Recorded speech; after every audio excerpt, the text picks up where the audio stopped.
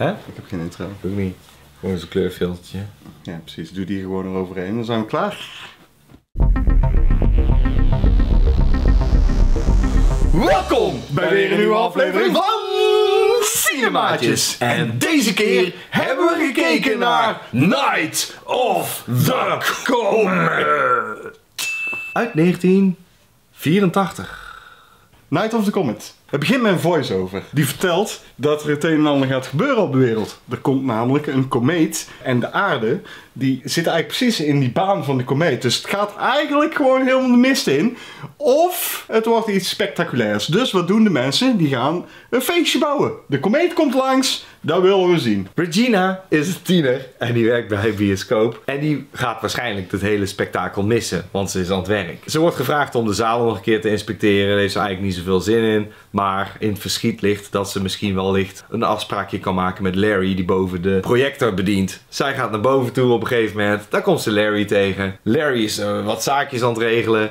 Bij haar zusje thuis is de stiefmoeder, Doris, ook een groot feest natuurlijk aan het houden. Regina belt haar zusje Samantha op. Nou zegt tegen Doris dat ik niet thuis kom vanavond. De komeet komt langs. Uh, Regina ziet daar niks van, want die ligt met Larry te rampetampen. En je ziet uh, dat er iets aan het gebeuren is. Als Reggie de volgende dag wakker wordt, staat zij op de gemakje op, totdat ze bemerkt dat Larry niet meer terugkomt. Want die wordt neergeslagen door een soort zombie. En daarnaast bemerkt ze ook, wat is er in hemelsnaam met heel de bevolking gebeurd?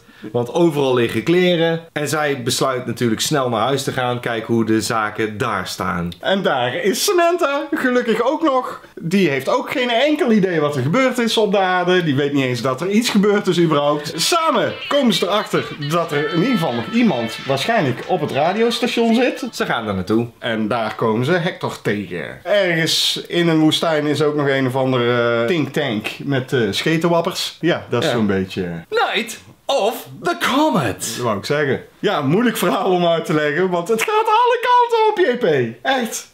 Dat is ook, denk ik, uh, het feit, om maar meteen met de deur in huis te vallen, waarom ik deze film niet per se een aanrader vind. Ik, ik ga het gewoon gelijk zeggen. Omdat ik vind uh, er wordt geen goede keuze gemaakt in wat wil deze film zijn.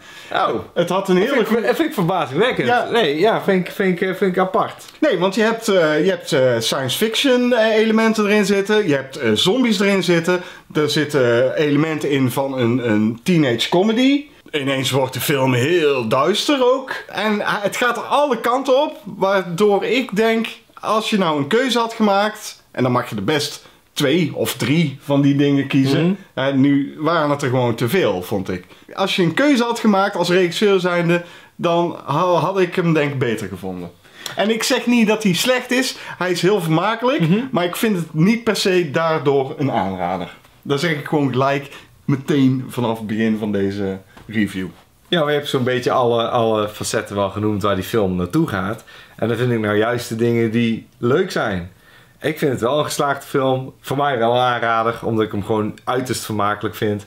En het, hij is echt op een heel laag budget geschoten. En ze, ze hebben gewoon heel erg creatief omgesprongen met wat ze wilden vertellen.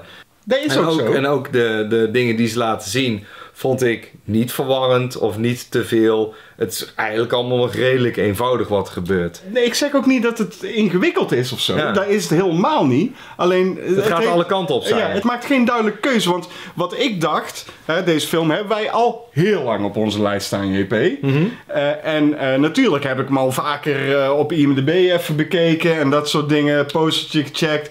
Ik dacht, dit is een, een comedy, een horror comedy of een science fiction comedy. Daar, neigt hij ook wel naar.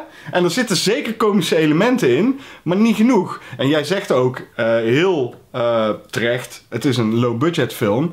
En dat is ook een beetje de crux van de film, vind ik. Want de film is dusdanig low budget dat op sommige locaties, eh, of keuzes van locaties, die vind ik heel slecht. Die desolate shots eh, op straat, die zijn fantastisch. Ja. Dat is echt, dat is helemaal, helemaal te gek. Jij bedoelt gewoon meer in die eh, facility Ja, en precies. dingen. Ja, ik heb er geen probleem mee. Ik heb, nee, eh, want dat is allemaal onderdeel van het grote verhaal wat ze willen vertellen. Maar gewoonweg niet het budget voor hebben. En dan nog vind ik die scènes geslaagd. Ja, maar daarom denk ik dat deze film een prima film is om een remake van te maken. Wat ook de nadelen is van het low budget wat ze hebben, is dat ze keuzes hebben gemaakt om bepaalde dingen te vertellen in plaats van te laten zien. Bijvoorbeeld Hector wordt geïntroduceerd, die vertelt wat hem is overkomen.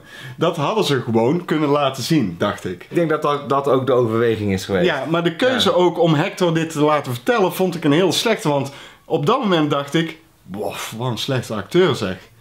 Later in de film vond ik hem juist heel goed weer. Ja, maar zo zitten er dus meerdere scènes in waarop er dingen verteld worden waarvan ik denk, had dat laten zien. Had dat laten zien, dan was, had de film meer cohesie gehad. Eh, Zeker voor zijn tijd en voor, voor het budget wat dit heeft Ja. is het, is het heel goed gedaan. En de, de desolate shots, wat ik al zeg, die zijn fantastisch. Ja. Dat filtertje, eh, heel, heel leuk gedaan. Op een of andere manier wekt het een sfeertje op. En ook het feit dat je natuurlijk de onderste gedeelte van het scherm dan wel goed kan zien. Het gaf de film een bepaald gevoel wat ik gewoon leuk vind. Ja. Ja. En er zitten gewoon leuke dingen in. Ik vind de, de, nou, de hoofdrolspeelster is misschien wel naam hier, want ik kan niks onthouden. Eh, die is heel goed, vind ik. ja, ik vond denk ik Samantha nog beter. Nee. Jawel. Echt waar? Ja, Oh, ik, vond, ja, eh, vond ik leuker. ik ben team eh, Reggie. Dan gaan we weer. ik was altijd in de veronderstelling dat die twee dames, die eh, tieners, dat die echt meteen eigenlijk gingen shoppen. Dat Ja, dacht ik echt. maar dat- dat, dat komt hebben pas heel gedaan? laat. Ja, maar Ja. dat komt pas heel laat. En ik dacht dat dat meer de speel van de film. En daarom verwachtte ik ook dat er meer comedy in zou zitten. Er zitten wel grappige dingen in. Ik heb ook zeker wel gelachen een paar keer. Maar meer om de goofiness dan omdat de grappen echt heel goed Ik waren. vond die bad guys in, de, in, de, in het eh, in winkelcentrum echt heel gaaf. Ja, Zo zit ik in elkaar. Ik vond gewoon een gaaf bad guy.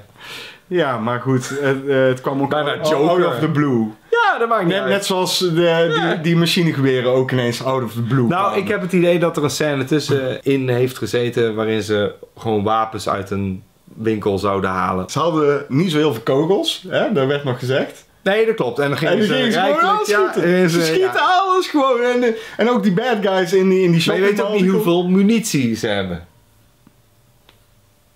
De film heeft gewoon een heel laag budget gehad. En wat dat betreft heeft hij daar wel goed mee omgesprongen. Dat is gewoon zo. Maar dat zie je er dus wel een beetje aan af. En daarom denk ik dat dit als remake heel goed zou kunnen werken. Ik vind de film gewoon wel geslaagd. Ik, ik denk dat het een, eh, een prima eh, jaren 80 film is. Een hele goede zelfs om op je lijstje te zetten van eh Het is wel jaren tachtig, zeg. Goonies. Nee. Over jaren 80 gesproken, de muziek in deze film is wel ontzettend Ja, jaren je kan 80. niet meer jaren 80 zijn daarom. Ja, maar als je dan naar die muziek luistert, dan denk je van, oh, die nummers zijn het allemaal net niet. En dan komt ineens Cindy Cindy Lauper. Ja. En dan denk je, oh, daar, Ja, ja. daar hebben ze dus wel budget voor gehad. Omdat, Ja, dat is waarschijnlijk heel het budget van de film. Ja, precies, dat denk ik ook, ja. En dan zit er ook wel weer een musical score doorheen, die af en toe best wel verrassend goed is. Mhm. Ja, ja, ja. Dus- Ik, dan nogmaals, ik vind dat er genoeg elementen in deze film zitten die hem charmant genoeg maken om hem wel aan te raden. Dat is wat ik wil zeggen. Omdat ik hem gewoon leuk vind. En nee, ik weet ook al dat het geen volmaakte film is. Dat is het niet. Maar is hij vermakelijk? Ja, ik, ik denk dat het een prima film is om op een zondagmiddag op te zetten. En dan ga je echt geen bel aan vallen. Hm. En ik hoor een ambulance. Ik ook. Ik kan me best in vinden dat jij het een aanrader vindt. Ja.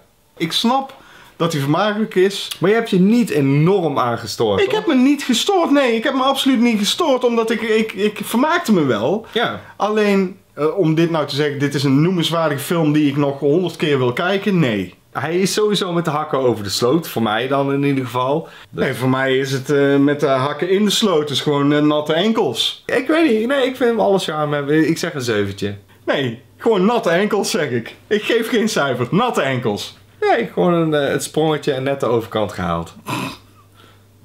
Wel wibbly wobbly. Wel wibbly wobbly. Tot de volgende keer.